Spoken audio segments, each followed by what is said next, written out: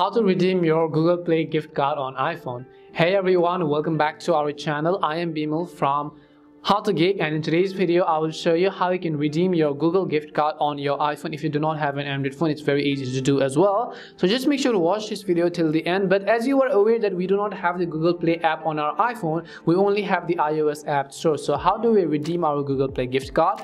Well in order to do that just open up your safari browser and then you want to go to play.google.com now this is the official google play store website which is play.google.com i'll also make sure to drop a link in the description box and then hit the go button. After you go to this url you want to make sure that you are signed into your google account as well. And once you sign into your google account just tap on your google profile photo from the top right hand side and go to the option called payments and subscriptions over here.